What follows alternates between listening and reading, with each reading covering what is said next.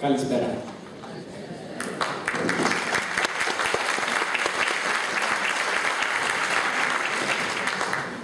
Vorrei parlarvi oggi, sono stanchi ma proveremo ad andare avanti, vorrei parlarvi di come è possibile attraverso la sovranità monetaria, come è possibile superare il problema fondamentale delle nostre economie europee, che è la disoccupazione.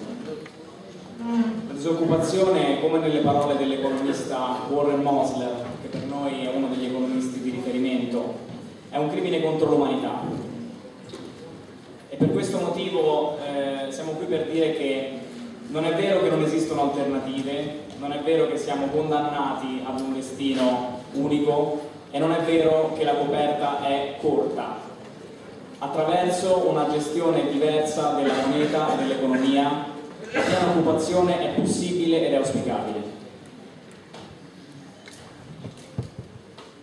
Si è parlato questa mattina mh, del fatto che a metà degli anni 70 le vecchie politiche economiche keynesiane, cioè le politiche in cui lo Stato all'interno dell'economia ha la sua importanza, sono entrate in crisi.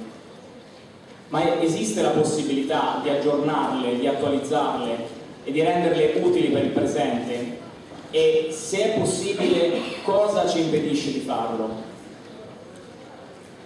Eh, quello che proponiamo è un approccio diverso alle finanze pubbliche. Diverso da cosa? Diverso da quello che le tecnocrazie europee ci hanno proposto negli ultimi dieci anni e quello che ci hanno imposto negli ultimi anni a partire dal 2007 cioè un destino nel quale il contributo dello Stato all'economia di un paese è sempre più ridotto. Quello che enfatizziamo attraverso eh, gli studi e la divulgazione che facciamo è che le nazioni che hanno una moneta sovrana e che, nelle quali il Ministero del Tesoro coopera in maniera efficace con la propria banca centrale non possono mai fallire sul proprio debito denominato nella sua moneta. Questa prima evidenza ci fa saltare subito all'occhio il fatto che invece nella zona euro possiamo fallire perché non siamo stati sovrani nella Grecia, nell'Italia, nel Portogallo, nella Spagna e nella Germania sono emettitori della propria moneta. La usano come se fossero una colonia. Quello che noi proponiamo invece è un approccio che l'economista Abba Lerner ha definito finanza funzionale. Perché finanza funzionale? Perché il bilancio del governo in questo approccio non diventa più un fine ma un mezzo, e il mezzo è abbattere la disoccupazione e fornire i mezzi di sussistenza e un futuro migliore a tutti i cittadini dello Stato. L'approccio la, della finanza funzionale si concentra sulla disoccupazione, sulle capacità inutilizzate dell'economia, invece che concentrarsi su rapporti numerici come il rapporto debito-PIL e il rapporto deficit-PIL. In realtà la disoccupazione corrisponde all'evidenza che il deficit del governo è troppo basso, non troppo alto.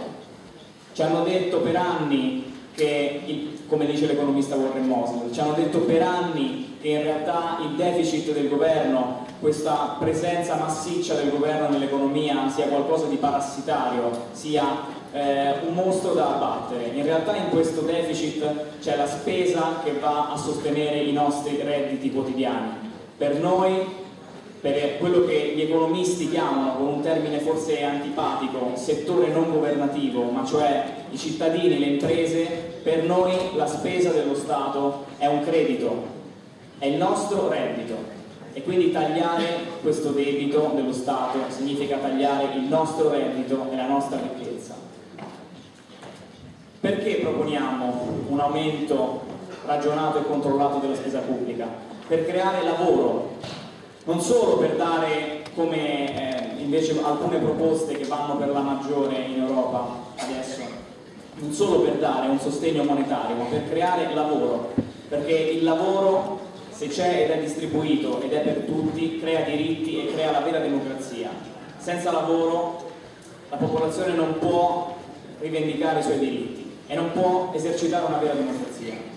E quindi gli obiettivi di questo nostro approccio saranno la piena occupazione e mostreremo che la piena occupazione consente anche di giungere a una stabilità dei prezzi e dell'economia in generale.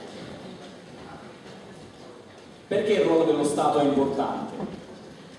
Perché a differenza di quello che ci raccontano le istituzioni europee e i loro servi nei vari governi nazionali, il ruolo dello Stato è quello di fornire certezza della domanda e dell'economia in generale. Senza un intervento dello Stato, che come ricordava questa mattina il dottor Galloni, fornisce certezza all'economia, gli investimenti, nemmeno quelli privati, possono ripartire. E mano a mano che tagliamo, e soprattutto la spesa pubblica è composta di salari per la maggior parte, mano a mano che tagliamo questa spesa, in realtà stiamo distruggendo i consumi e gli investimenti e quindi stiamo distruggendo il futuro della nostra economia.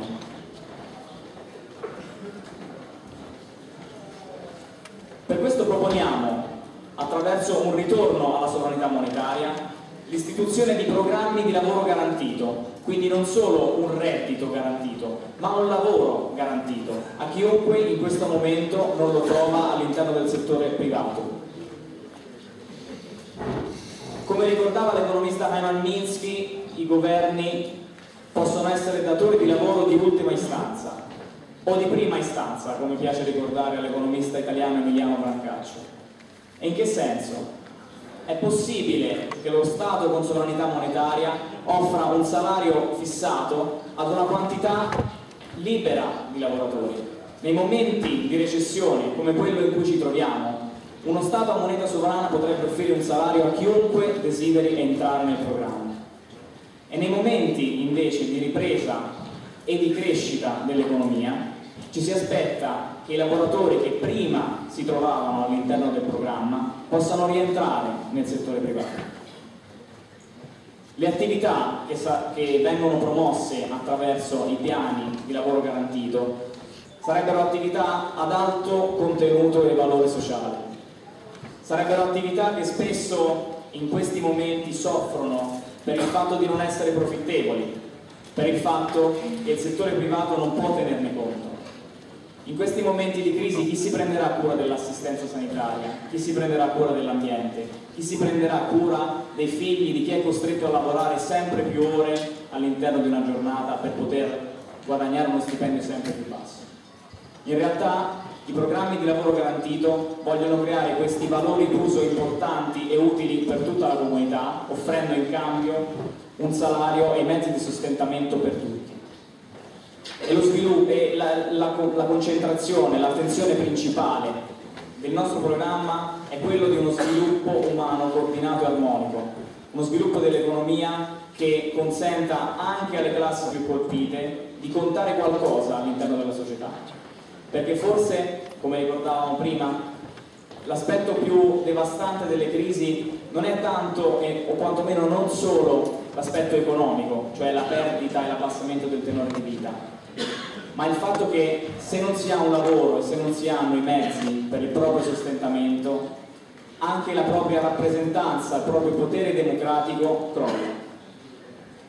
E questo, come ormai è evidente agli occhi di tutti, non è possibile all'interno di un sistema monetario dove la moneta è gestita da poche istituzioni finanziarie, come è l'Eurozona in questo momento.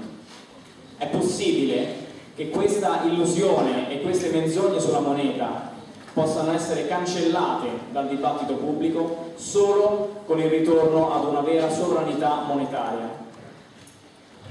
E per la sovranità monetaria non intendiamo poi una politica generica, una politica che dia soldi a pioggia, come accusa qualcuno, o una politica che mantenga in vita l'assistenzialismo, no? come molti amano chiamare il fatto che semplicemente la gente abbia da mangiare.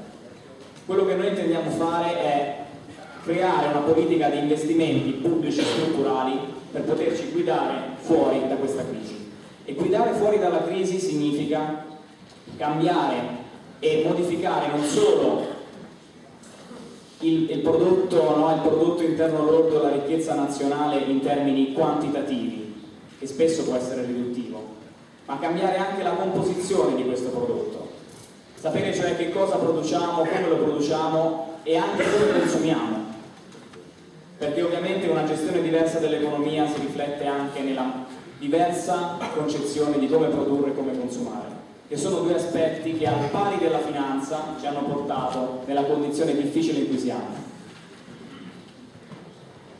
Gli stati non sovrani, e quindi come appunto la Grecia, come l'Italia, come il Portogallo e la Spagna e tutti gli altri 17 membri dell'Eurozona, non potranno mai impiegare l'approccio della finanza funzionale non potranno mai garantire ai propri cittadini la piena occupazione perché le politiche di austerità sono autodistruttive e impediscono la formazione della ricchezza di cittadini e di imprese. Comprimono i profitti, sì, ma comprimono anche i salari, comprimono anche gli investimenti, impediscono l'uscita da questa impasse.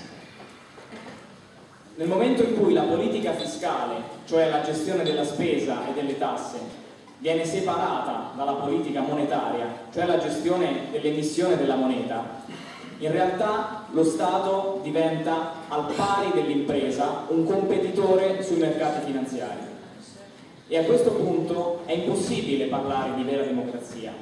Molto spesso si sente parlare e si sente elogiare le virtù della Banca Centrale Europea, una banca centrale indipendente, in realtà la parola indipendente nasconde un significato in realtà più negativo, e cioè indipendente dal controllo democratico dei cittadini europei. Perché non potendo finanziare l'occupazione, la crescita e una politica di investimenti pubblici ben ragionata, in realtà quello che la Banca Centrale Europea fa è creare disoccupazione e impedire la formazione di una vera democrazia in Europa. Perciò riteniamo che sia fondamentale il ritorno alla sovranità monetaria, proprio perché abbiamo in mente quale può essere una prospettiva diversa e futura per la gestione delle economie. Non quindi un messaggio generico di speranza, perché molto spesso la speranza è un sentimento passivo, ma la fiducia nel fatto che avere delle pretese politiche e sapere dove indirizzarle, sapere non solo cosa chiedere, come se eh, le giuste politiche venissero dall'alto, ma sapere cosa costruire come cittadinanza e come elettorato e come cittadini di una vera democrazia.